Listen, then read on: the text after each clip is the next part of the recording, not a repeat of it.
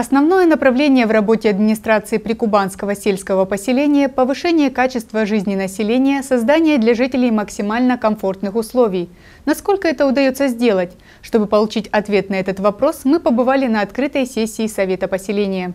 Каждый, кто въезжает на территорию нашего муниципалитета со стороны Крымска, видит прежде всего прикубанское сельское поселение. Его население 2356 человек. Для них это малая родина, самое лучшее место. И стало оно таким благодаря объединенным усилиям как жителей, так и руководства поселения. В своем отчетном докладе глава прикубанского сельского поселения Александр Бельдиев рассказал о том, что было сделано в 2022 году. Одно из самых красивых и удобных удобных для жителей сельских поселений края, несмотря на все сложности, сумела сохранить набранные темпы развития. В приоритете дороги. Дорожный фонд поселения составил более 7 миллионов 600 тысяч рублей.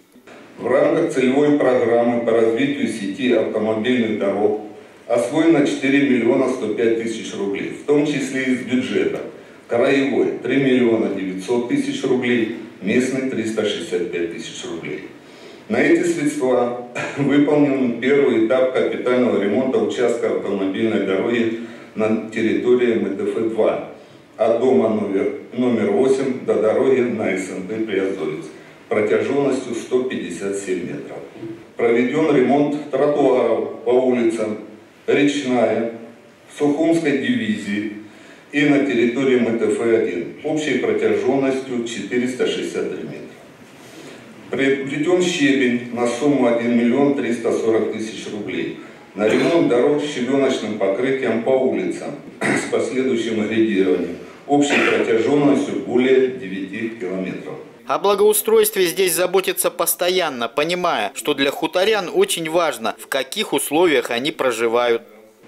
Выполнен текущий ремонт уличного освещения с заменой ламп на энергосберегающие светодиодные по улицам Победы, набережная, Мира, территория МТФ-1 и МТФ-2.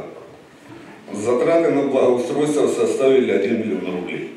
Вопросы благоустройства территории рассматриваются и обсуждаются с участием жителей поселения на сходах граждан. С учетом обращений жителей приобретено и установлено игровое оборудование для детских площадок на улице Кубанская, территории МТФ-8, на территории МТФ-2.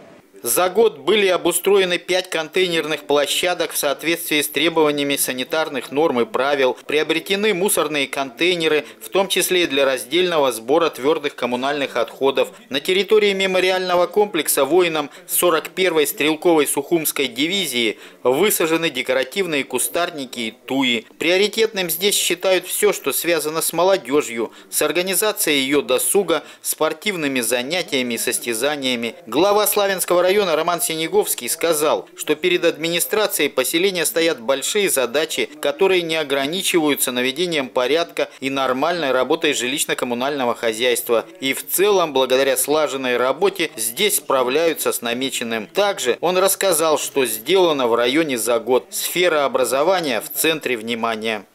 У нас в районе становится все больше многодетных семей. На сегодня их 1815, поэтому детские сады очень востребованы. В районном центре, вот видите фотографию, строится с новой, рядом с новой школой современный садик на 320 мест. В поселке Забойском капитально отремонтирована дополнительная группа на 20 мест. Э, добавлю, что в планах у нас строительство пристройки на 60 мест садику хуторе Сербин и школы станицы Петровской. Работы по проектированию уже ведутся.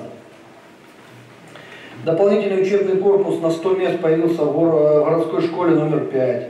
Сделан капитальный ремонт и самое главное, что ребята на сегодняшний день пошли э, учиться в школу в одну смену. Э, в 18 школах и садиках отремонтированы кровли. В школе номер 20 поселка Забойского входная группа. В четырех сельских школах сделан капитальный ремонт пищеблоков. Происходящие к лучшему изменения очевидны для всех, особенно для тех, кто давно не был в нашем муниципалитете. Это результат большого общего труда. Город изменился, и сельские населенные пункты изменились. Но хотелось бы, конечно, мы, мы работаем для того, чтобы было, было еще лучше.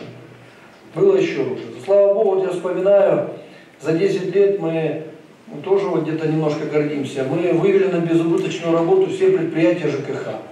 Много хорошего удалось сделать за 2022 год на уровне всего района в плане его социально-экономического развития. Все, что делается, полезно для всех жителей муниципалитета. Затем собравшиеся в зале задали ряд вопросов, которые их беспокоят. Это состояние дамбы, работы по водоотведению, снабжение лекарствами. Все озвученные вопросы взяты на контроль. Проблемы еще есть, но они постепенно решаются. Радует взаимодействие местной власти и общественности. Жители довольны тем, как идут дела в сельском поселении.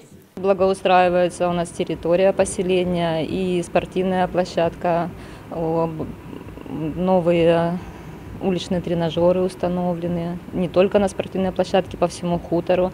Также дороги обновляются и освещение на территории хутора у нас прям с каждым годом процветает, процветает наш малый край. Мы очень рады и также совместно с нашим главой э, движемся дальше. Планы у нас большие, масштабные. Надеемся, что наш хутор не будет отличаться от города. Сделали ремонт, крышу сделали. Это же все равно какое-то движение идет. Также и дороги делаются, и ну, многое, что на хуторе делается. Я думаю, что хутор перспективный. Но мы верим, что у нашего хутора есть будущее. Я думаю, все будет хорошо. Кто приезжает нам на хутор, видит, что хутор меняется. И меняется всегда в лучшую сторону. А в школе у нас, например, эм, у нас нет столовой, нам возят э, питание, но у нас есть буфет розаточная, которая была ну, не в самом лучшем состоянии. Сейчас у нас эм, красивый ремонт, там дети наслаждаются красивыми видами, можно сказать.